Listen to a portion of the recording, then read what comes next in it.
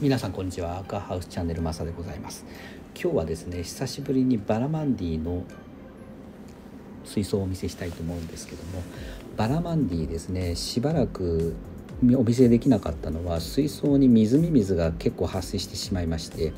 いろいろアロワナがいすぎるんじゃないかとかいろいろ言われてますけどもまあ少しずつですねろ過槽を掃除したりあの水槽掃除したりしてまあ少なくはなってきましたけどまだちょっと見えるんですよね。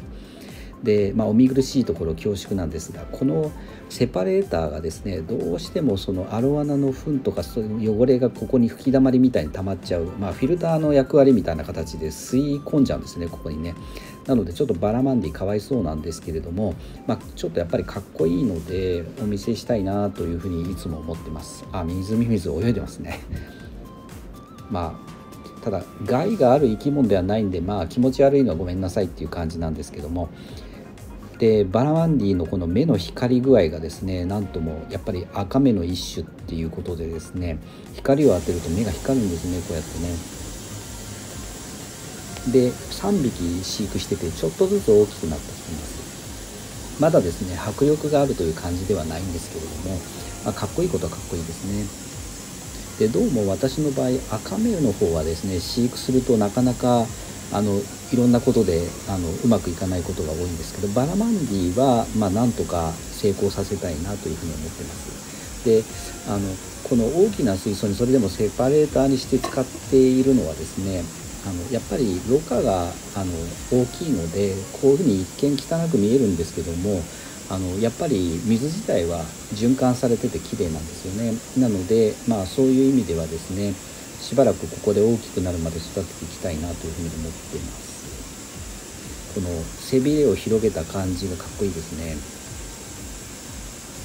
でただまあ皆さんがイメージするバラマンディのこのバカーンと餌を食べる感じとはまだですねかなり程遠い大きさというかまあなんとなくおどおどしてる感じですね。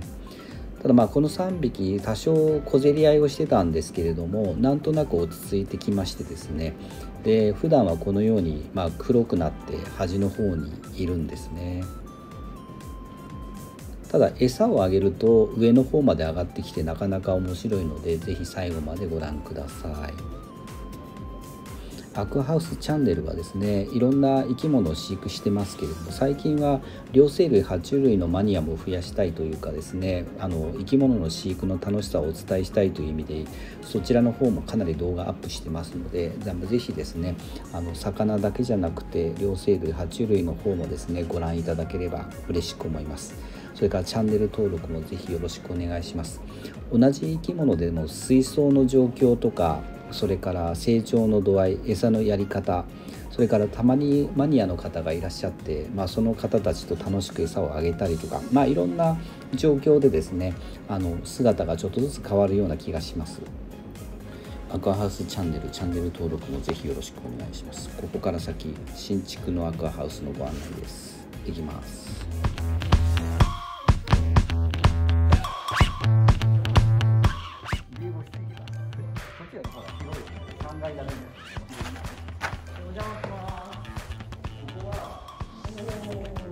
外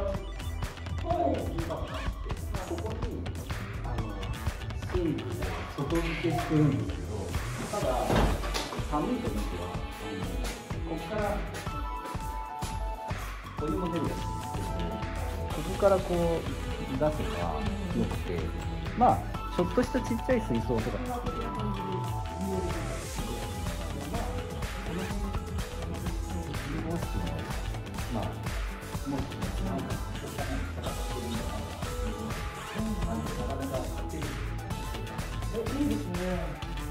違いますね。そして、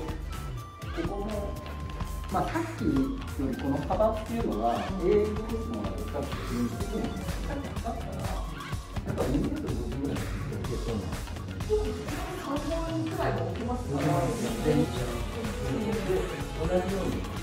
あのさっきも言ってるん。ですけど、外のところに上から帰るん。ですけど、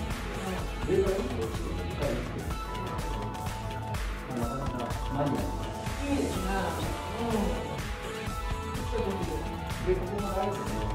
まあ、こうやってあの好きなように好きなライフをしてながらまあ、水道というような河川がこれは角度変えればいかにきれい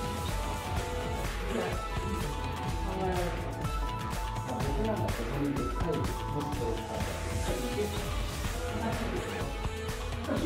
叩き池的なやつを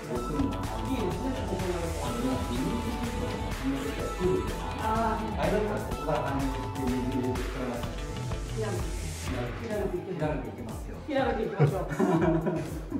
う。